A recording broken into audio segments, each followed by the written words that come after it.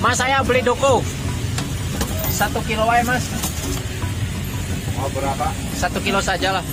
Di dukunya manis tuh mas. Ya yang jualnya ini. Aduh, duku mana ini? Ini Palembang. Oke, duku Palembang bos. Aduh, Cobain dulu boleh? cobain dulu atuh biar jos. Sekilo aja mas. Iya, mau semuanya juga nggak apa-apa.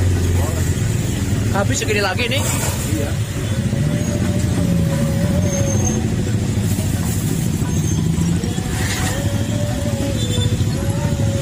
Berapa sekilo mas? Kilo 15 saja. Siap. 15.000 ribu bos, satu kilo.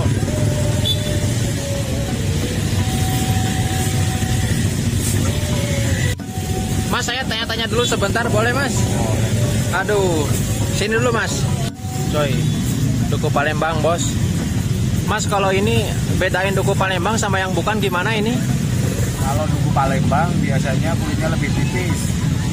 Kalau duku Palembang lebih tipis. Iya. Kalau yang biasa, Kalau yang biasa biasanya agak tebal. soalnya saya sering ketipu mas beli duku ngomongnya Palembang, tahu-taunya kecut mas. Wah, ya namanya pedagang ya rata-rata kayak gitu. Jadi cuma dilihat. Hmm.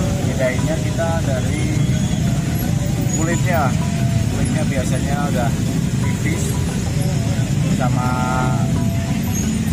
dalamnya itu agak bening-bening gimana itu udah matang. Oh kalau duku yang biasa dari ini dari tekstur besar kecilnya ngaruh nggak ini? Aduh Enggak. nggak. Nah, biasanya kalau yang bukan Palembang itu enggak mulus, kulitnya enggak kuning-kuning. Kalau yang Palembangan bisa mulus banget. Tapi ya tergantung, tergantung lama apa enggaknya. Kalau yang kayak gini berarti ini udah mungkin dua hari ya, jadi udah agak hitam. Tapi dalamnya masih bagus banget. Tapi kalau duku Palembang sama yang biasa harganya sama apa beda mas?